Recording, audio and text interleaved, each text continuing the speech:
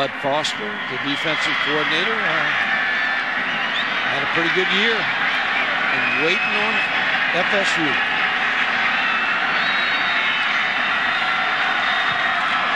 Pennington.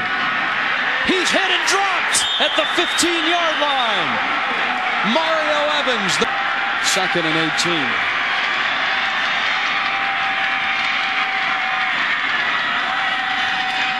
Pennington. Got a man. Poole. Up he goes, and he lands at the 30. Third and short yardage. Third and four.